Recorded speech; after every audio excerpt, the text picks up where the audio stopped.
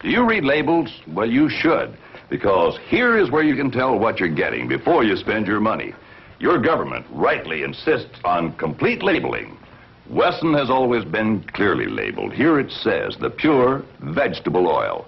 Now, the label on this new oil tells you, if you can read the small print, that it is lightly hydrogenated. But Wesson is never hydrogenated, and so is poly unsaturated, as no solid shortening, as no hydrogenated oil can be.